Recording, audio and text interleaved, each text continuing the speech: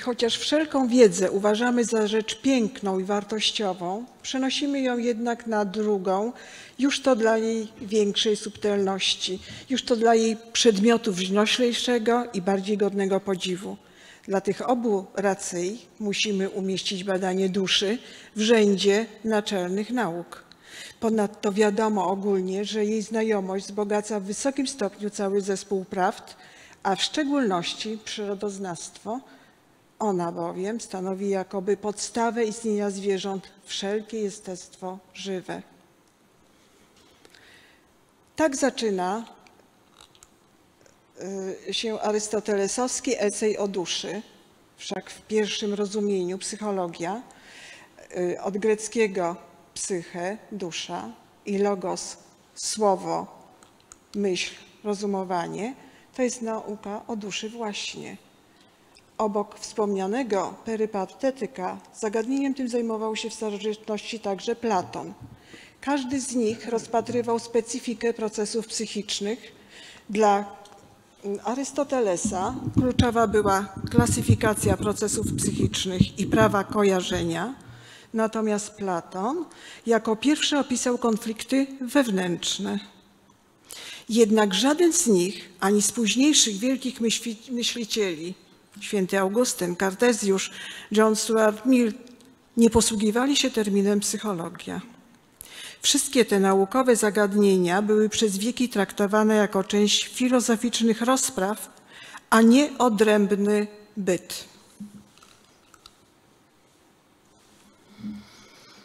Pewien przełom nastąpił w XVI wieku, kiedy to dalmatyński poeta Marko Marulicz w swojej niezachowanej do naszych czasów rozprawie Psychologia de ratione anime humane, wydanej między 1510 rokiem a 1519, świadomie użył tego sformułowania. Natomiast za rozpowszechnienie nazwy psychologia dla dziedziny badającej procesy zachodzące w ludzkiej psychice odpowiada oświeceniowy filozof i uwaga, matematyk urodzony we Wrocławiu, Christian Wolff. Psychologia jako samodzielna nauka empiryczna ukonstytuowała się dopiero w 1879 roku, kiedy profesor Wilhelm Wundt otworzył na Uniwersytecie w Lipsku pierwsze w Europie laboratorium psychologiczne. Wraz, wraz z Julianem Ochorowiczem 1869 roku opracowali stosowaną i dzisiaj metodę rejestracji subiektywnych doznań twórców, tak, czyli introspekcję. Wspomnijmy jeszcze kilka przykurzonych dziś nazwisk twórców tak zwanej psychologii eksperymentalnej, których prace stanowią podwaliny dzisiejszej dyscypliny naukowej. Są to y, Miller, Hermann y, von Helmholtz, Gustav Fechner.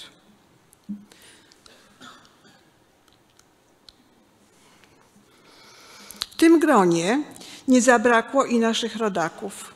Dzięki przywoływanemu już Ochorowiczowi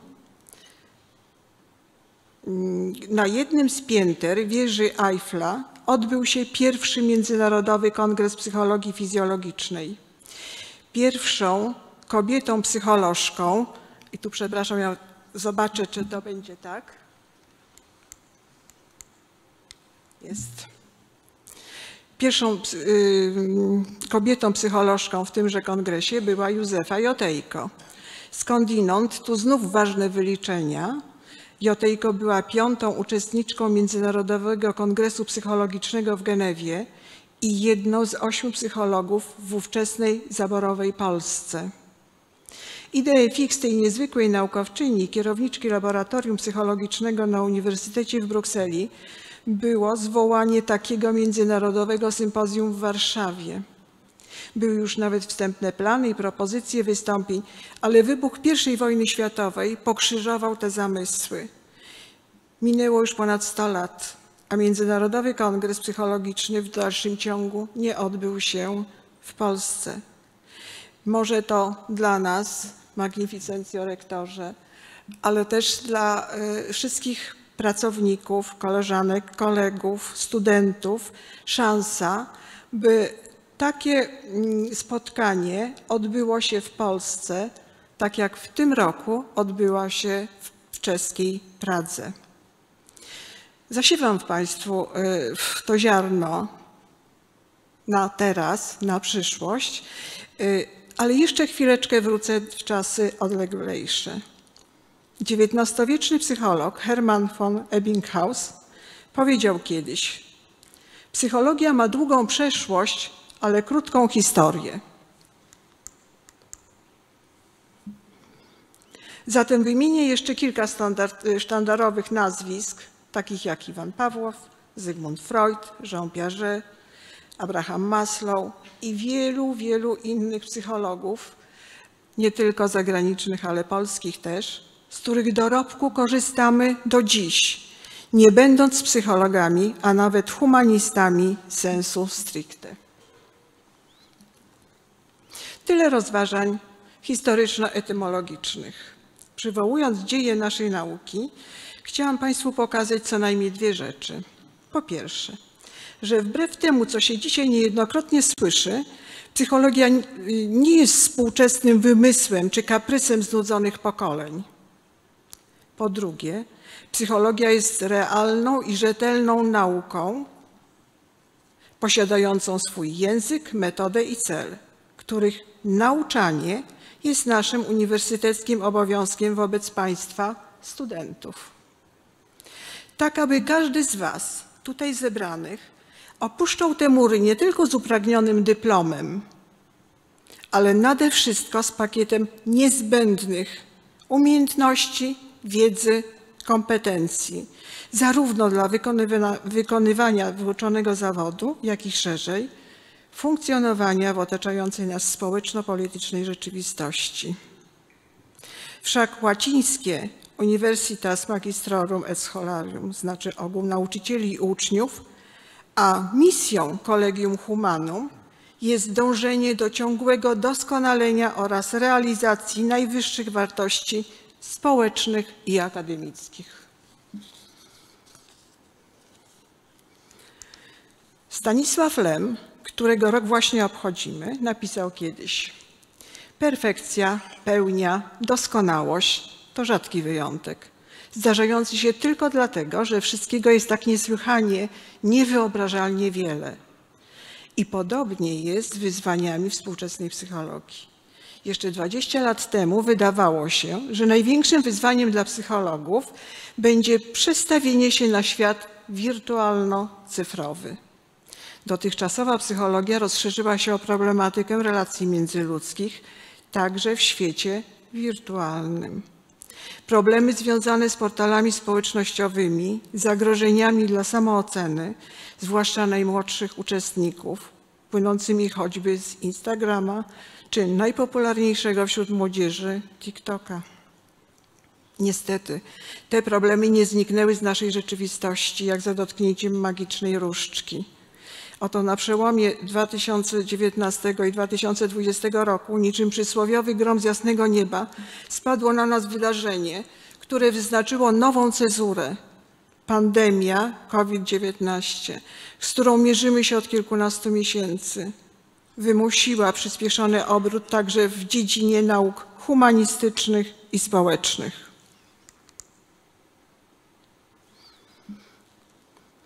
Płynna ponowoczesność, by użyć określenia ważnego polskiego filozofa Zygmunta Baumana, przyspieszyła w nieobrażalnym dotychczas sposób. Ledwo zaznajomiliśmy się z pojęciem Web 2.0, a już przeskoczyliśmy kilka pięter. Rzeczywistość 5.0 jest zjawiskiem tak silnym i tak odmiennym od tego, czego doświadczyliśmy dotychczas, że lemowskie niesłychanie niewyobrażalnie wiele jest tym, co w najbardziej obrazowy sposób opisuje aktualną sytuację w polityce, ekonomii, sztuce, kulturze, czy wreszcie medycynie i rzecz jasna psychologii. Definicja świata 5.0 wciąż jest dyskutowana, choć jak zauważają współcześni socjologowie, wydaje się, że najmłodsze pokolenie zwane niekiedy pokoleniem Z, niespecjalnie tych definicji i wyznaczania granic potrzebuje.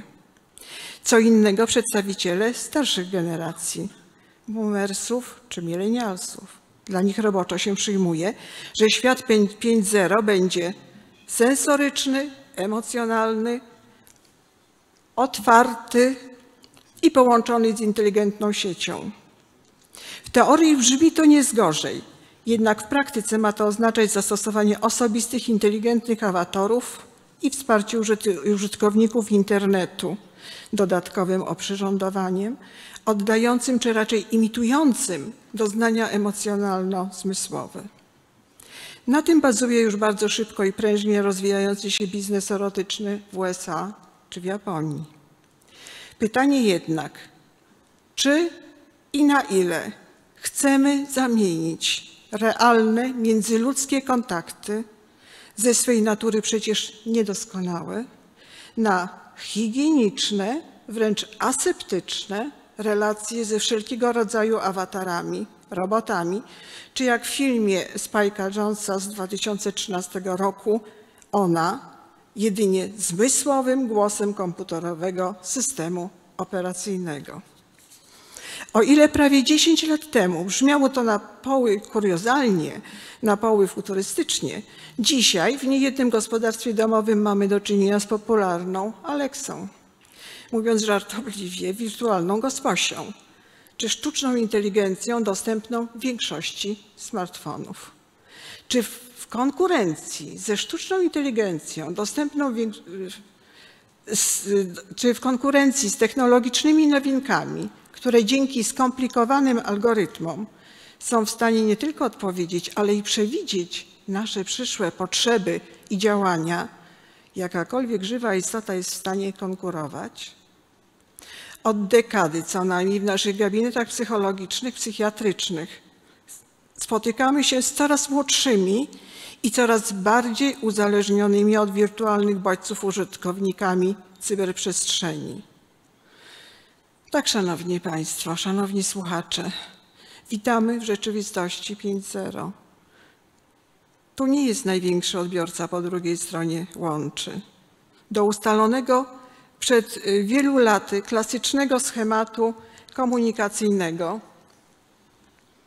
wkroczył nowy zawodnik. I czy nam się to podoba, czy uważamy to za moralne, właściwe, czy po prostu zdrowe, nie ma to znaczenia żadnego. Zaś rolą psychologa nie jest nawracanie kogokolwiek, ani nawet leczenie. My mamy podążać za klientem i pomagać mu w osiągnięciu dobrostanu, w jakiejkolwiek sytuacji by się nie znalazł. Oczywiście social media są w swej naturze poza moralnością. Ani dobre, ani złe. I tylko od nas zależy, w jakim celu je wykorzystamy. Nie sposób w tym miejscu nie przywołać sytuacji z ubiegłego roku, kiedy w wyniku lockdownu niemal wszyscy zostaliśmy zamknięci w swoich domach, a z bliskimi i z przyjaciółmi utrzymywaliśmy kontakt dzięki komunikatorom. Także nauka, czy to podstawowa, czy to wyższa, również w Kolegium Humanum przeniosła się na platformy cyfrowe. Jeśli w całej postpandemicznej sytuacji na świecie miałabym doszukiwać się pozytywnych aspektów, to podwyższenie kompetencji informatycznych we wszystkich grupach wiekowych byłoby niewątpliwie jedną, jednym z nich. Ale jak zaobserwowali naukowcy, właśnie nie jedynym. Otóż kanadyjskie badania wykazały coś, co się nazywa wzrostem pourazowym podczas pandemii. Świadczy to, że traumatyczne wydarzenia i doświadczenia mogą mieć pozytywny wpływ na ludzi, że przetrwanie bólu i cierpienia może prowadzić do osobistego rozwoju, a niektórzy z nas wychodzą silniejsi, silniejsi ze złych czasów. Brzmi optymistycznie, a właśnie takich jasnych, dobrych, pozytywnych wiadomości Wszystkim nam teraz potrzeba. Pandemia COVID niewątpliwie przyspieszyła globalny postęp technologiczny, także i na naszym psychologicznym poletku. Już nie tylko telepraca, ale i telepsychologia, telemedycyna zawitała pod przysłowiowe strzechy.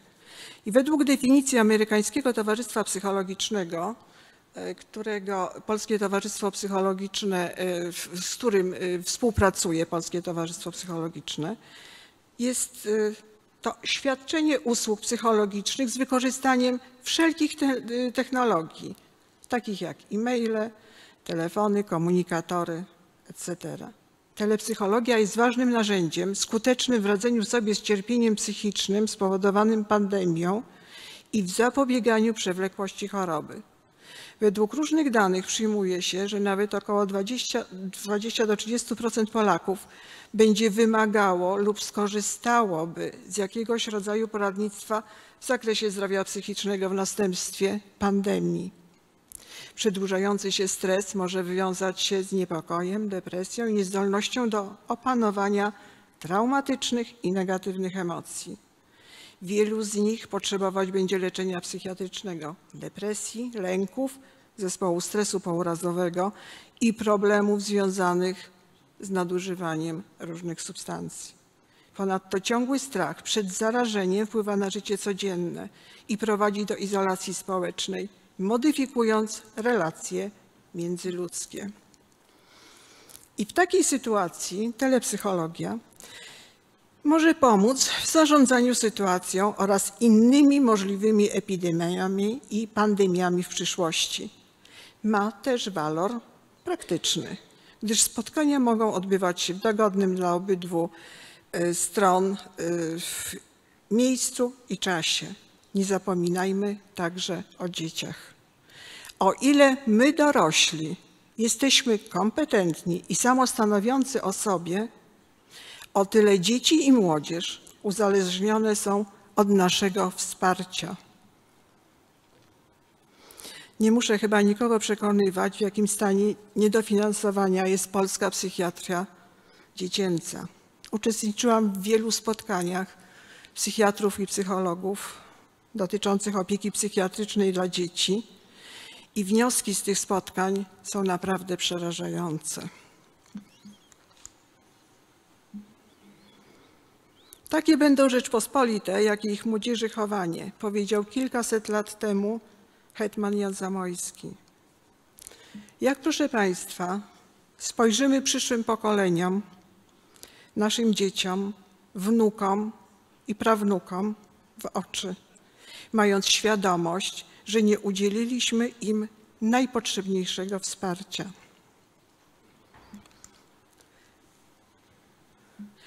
Myślę też, że to właśnie wsparcie jest kolejnym ważnym elementem psychologii 5.0. Wsparcie rozumiane wielopłaszczyznowo. Jako psychoprofilaktyka i psychoedukacja, interwencja kryzysowa, jako wsparcie z pogranicza psychologii i seksuologii z zakresu problematyki tożsamości płci, wsparcie psychologiczne dla osób zagrożonych bezdomnością czy innymi problemami społeczno-ekonomicznymi. Niezwykle ważne w tym zestawieniu jest także wsparcie zawodowe dla nas samych psychologów, których coraz częściej dotyka problem wypalenia zawodowego. I na koniec powiedzmy jeszcze o jednym rodzaju wsparcia. Ważnym, a zarazem trudnym, obarczonym polityczny, politycznymi naleciałościami. Myślę o wsparciu psychologicznym, zwłaszcza kryzysowym, adresowanym do uchodźców. Pomijając nawet wszelkie przesłanki etyczne, niezależnie od wyznawanej wiary czy przekonań, po prostu winni jesteśmy tym ludziom pomoc. Zgodnie ze słowami zawartymi w preambule do kodeksu etycznego psychologa, podstawowym punktem odniesienia są uniwersalne prawa człowieka, zawarte w Powszechnej Deklaracji Praw Człowieka ONZ. Prawa pozostające ponad różnicami kulturowymi i światopoglądowymi, jak i ponad różnorodnością paradygmatów w obrębie psychologii. Poszanowanie praw człowieka jak również prawa powszechnego i zasad koegzystencji społecznej jest warunkiem etycznego wykonywania zawodu psychologa. Dalej zaś czytamy. Podstawą etyki zawodowej psychologów zarówno w działalności naukowo-badawczej, jak i w obszarze praktyki psychologicznej opartej na dowodach naukowych jest dobro i godność człowieka. Wykonując czynności zawodowe zgodnie z zasadami etyki, psycholog dąży do tego, aby kontakt z nim był pomocny. Magnificencjo, szanowny panie rektorze, szanowni goście, panie i panowie. Zapraszam wszystkich, spotkajmy się więc w świecie 5.0 z psychologami. Dziękuję bardzo.